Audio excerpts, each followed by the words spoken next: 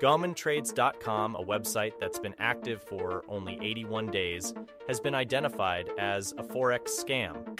They promise high returns on investments, but once you invest, your money vanishes into thin air as the scammers behind the operation disappear. Despite their claims, they have no presence on well known consumer review platforms, and their social media footprint is non existent. The address they list for their business doesn't exist, and they are not registered in the state they claim to operate from. A Forex scam is a fraudulent scheme that involves trading in the foreign exchange market. Scammers typically promise high returns on investments and then disappear with the investor's money. They often operate from non existent addresses and are not registered in the states they claim to operate from.